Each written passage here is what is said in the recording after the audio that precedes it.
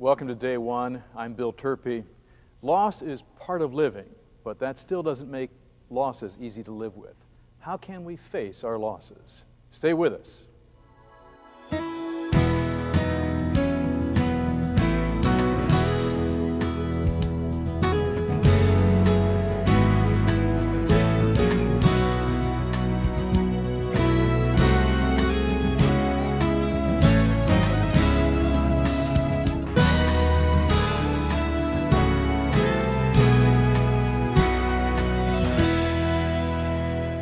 How can you prepare yourself now for the loss of a loved one later, and what can what can you do in someone's life now so that when they're gone, it won't be so difficult for you? Interesting question, a question that strikes me as both practical but in some sense selfish.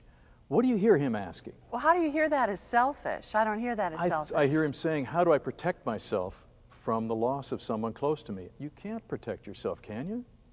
No, what I, what I hear in that is a genuine yearning to live life to the fullest now. How do I live life to the fullest now with the people around me so that I don't have any regrets later on? I think we know that people in our culture are not going to the funerals of their neighbors and friends as much as they used to, only when it's a family member or someone uh, closely connected. And I think to go to the funeral of a neighbor or a friend is not only to grieve for them, but also to walk through the pattern of um, what is it like to approach a loss and what are the promises that we hold on to. When I was in seminary, I had a professor named Howard Hanchey who said this is the fundamental theological question that we in the church are to prepare people for. That more than any other issue, more than any other theological crisis they're going to have. It is how to deal with the loss that is inevitable. And we are in the role of building a foundation for them. But I think part of the issue that we also have to deal with, that I think you were addressing at the very beginning, is there is a myth out there that the person of faith can avoid loss. And I think that's part of the foundation we lay as well, is telling people that loss is not the antithesis of having faith. Loss is part of living grieving is part of being alive. But I've actually met people who did just deny death. They, they don't want anything to do with death. They won't go to funerals. They won't acknowledge that somebody has died. I mean, it's just not on their radar screen. Well, this is a personal question for me because of I have family members that are getting older, parents, and to me, I think it's very important that we spend quality time with those that we love. But I also think deeper than this question per se is quality. People are dealing with quality of life now and dying with dignity. And with the way medicine and science is today, with so many breakthroughs and people living longer or being able to be on life support and having to make those types of decisions, I think people are struggling with that whole grief issue and saying goodbye and how long do I let mom and dad stay on life support. Um, it brings up so many other issues nowadays than just they've died and let's bury them and move on with our lives. Sondra Wheeler from Wesley Theological Seminary in Washington, D.C., raises another question about this issue of loss. Where in our society would we learn the patience it takes to wait for the pain of loss to subside, to wait for the slow work of healing to be done? I think we've become a society in which we're so fast paced and you have a lot of people that will have a loved one that dies on Monday and they're expected to be back at work on Wednesday.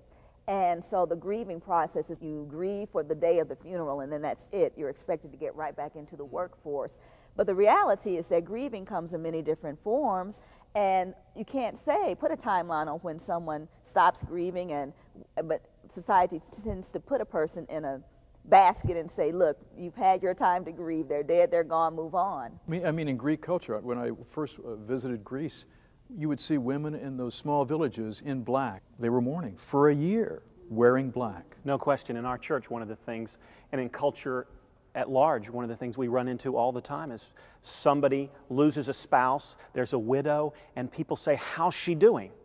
And the real question is when someone says, she's doing well, the answer means she's not showing her grief at all. She's bearing up under the load and not letting anyone know that she's grieving. What, what about this passage? Blessed are those who mourn, they shall be comforted.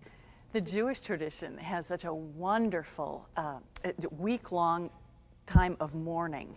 That is a seems to be a response to that uh, to your question. What, what that- they call it sitting Shiva, right? Shiva, Where- Yeah. For seven days. They sit and they mourn and grieve together. And then that full year is a time of expected grieving. And then that one year anniversary, they get together again and, and Well, let's, let's take this out of the realm of death and put it in loss of a job, lots loss of yeah. a, uh, a, you know, a lifestyle. I mean, I, I They're, loss- they're voluntary losses as well, I think, and I hope that the church will help families dealing with uh, uh, times when they find out, for instance, brothers or sisters or um, cousins or persons in the, in the life of the family um, come out of the closet and are gay or lesbian, do we then shun that particular person in our families? And if that's what's happening, are we supporting the kinds of love relationships where we can all be accepted for who we are and what we believe and, and what we're just accepted exactly as we are? Yeah, can, think- can, yeah. can that happen? And, and can the church help that to happen in more, um, um, sh- in surer ways, in more instances than we find right now? Well, it's also worth saying, what about other kinds of losses? Because I think loss also brings a crisis of identity. Very often, if you lose a job, what we discover is that people have a sense of my value, my worth, my being came from my job. And I think that's an important role of the church as well, that sometimes in that loss we say, there is a new sense of identity that we can give you. Between the old sense and the new sense, there's often a period of rage um, at the loss of the old. And one of the things I rejoice about uh, in the church is the sense of lament is now welcome in a way that it has not been before. So patience is not always a quiet patience, it sometimes is an angry patience. For us, what has helped you pass through loss best? It is such a relief to me in, in a time of loss when someone will simply take the time with me. Lots of people say, Hey, how are you doing? And I'm guilty of that as well. Hey, how are you doing? And, and really not intending to get into a long conversation. But for someone to really take the time, okay, now we got over the formality, how are you doing? Someone will say, Okay, now tell me, how are you really doing? And then we can have a conversation about how I'm really doing. And when the tables are turned and I'm able to do that for someone else, the kinds of the depths of conversation that we have together uh, is a real gift. Thank you, folks, for your reflections on loss. Thank you for being with us on day one.